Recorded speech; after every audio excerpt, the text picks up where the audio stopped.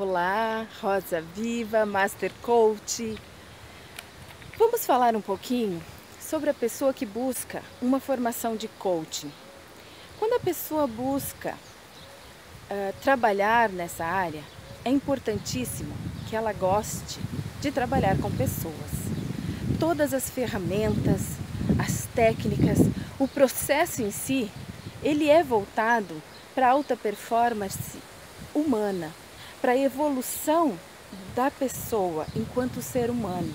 Olhar para isso, se identificar com isso, criar essa conexão é imprescindível para quem deseja ser um bom coach e fazer a diferença na vida do seu coach.